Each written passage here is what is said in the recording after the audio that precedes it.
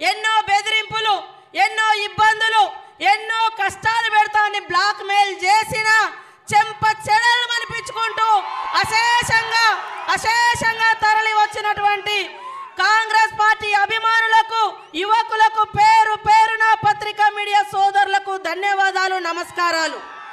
కన్న తల్లిని కన్న తల్లి పాలు దాగి తల్లి ఎద మీద కాలుతో దన్నినోళ్ళు ఎవరు తల్లిని హత్య చేసిన వాళ్ళు ఎవరు నువ్వు ఎవరో లేదు. ఎక్కడో ఒక చిన్న స్కూల్లో టీచర్గా ఉంటే రెండు సార్ల ఎమ్మెల్యే చేస్తే రెండు సార్ల ఎమ్మెల్యే చేస్తే ఇవాళ కాంగ్రెస్ పార్టీని పాతర పెడతా అంటాడు. పాతర పెడతా అన్నోడు ఎవడు బతికి బట్ట కట్టలే రాజకీయంగా. కాంగ్రెస్ నూట ముప్పై ఆరు సంవత్సరాల చరిత్రలో ఇలాంటి ఎంతో మందిని చూసిర్రు. అందుకనే మీరే నాయకులు గతంలో పార్టీని మోసం పక్కకు పోయిన వాళ్ళను ఓడించినటువంటి చరిత్ర ఈ నియోజకవర్గం కానీ పక్క నియోజకవర్గాలలో కూడా ఉన్నది. దయచేసి అందరూ అర్థం చేసుకోండి. ఇదే పోడు భూముల కోసం పోడు భూముల కోసం మేము పోతున్న పార్టీ మారుతున్నా అని చెప్పినటువంటి వ్యక్తి ఇక్కడ పోడు భూముల కోసం ధర్నా చేస్తుంటే ఇదే మండల అధ్యక్షుల మీద కేసులు పెట్టించినటువంటి వ్యక్తి ఇక్కడ ఎమ్మెల్యే. అవునా కాదా?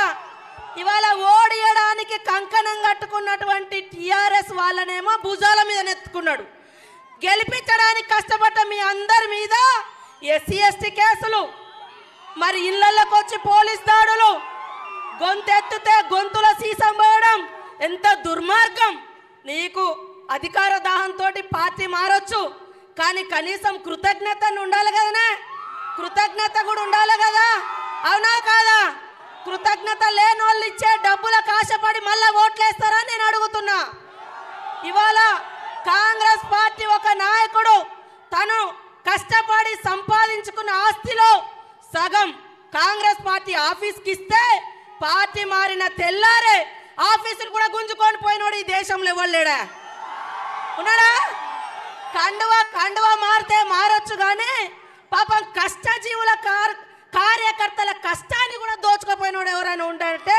ఇక్కడ ఎమ్మెల్యే ఇది గుర్తుపెట్టుకోండి నేను పోలీస్ అధికారులకు కూడా చెప్తున్నా. ఇక్కడ నిజంగా ఎంత ఘోరం అంటే ఆయన చెప్తేనే పక్క నియోజకవర్గం నుంచి మేము ఇళ్ళకు రావాలి.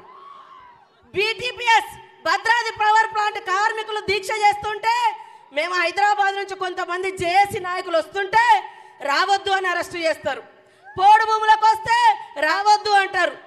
బీ మరి వరదలలో శిబిరాలు తిరగాలంటే రావద్దు అంటారు అవునా కాదా అయ్యా పోలీస్ అధికారులలో కొంతమందికి నేను చెప్తున్నా.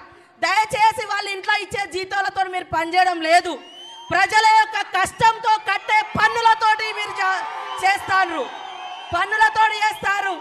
కేసుల మీద కేసులు పెట్టి ఇబ్బందుల పాలు చేస్తే ఎవడు ఒకడు కూడా చరిత్రలో ఒకే పార్టీ లేదు.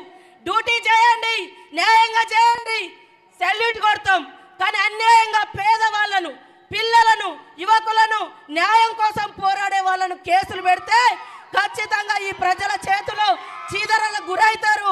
పోలీస్ అంటే నాకు చాలా గౌరవం. నా అభిమానులు ఎంతో మంది ఉన్నారు కానీ ఈ రోజు మాట్లాడాల్సి వస్తుంది. కాబట్టి ఇవాళ భూములు పోయిన వాళ్ళు ఏడుస్తున్నారు ఆత్మహత్యలు చేసుకున్నారు. ఇవాళ భూములు పోయిన వాళ్ళు ఇందాక వచ్చి కలిసిర్రు.